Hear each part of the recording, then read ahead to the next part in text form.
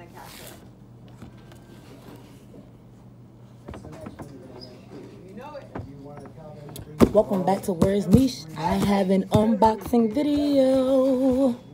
Let's get into it. Shout out to Miss ReRe, baby. I don't have. I don't have scissors. I have everything else in my bag but some scissors. So we're gonna use this good old pencil.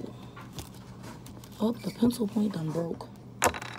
How's everybody doing? I am Mish, and I like to scratch tickets from uh, here, there, everywhere. I don't want to mess up my nails, but there we go.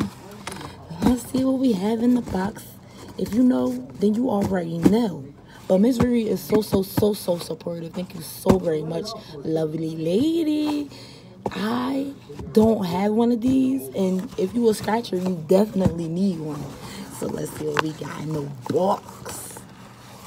Oh, she's so thoughtful. She don't just throw it in the box. She is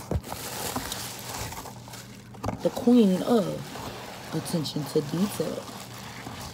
Lovely. It's a note in there for moi. Thank you, Miss Lily, baby. Has my name on it.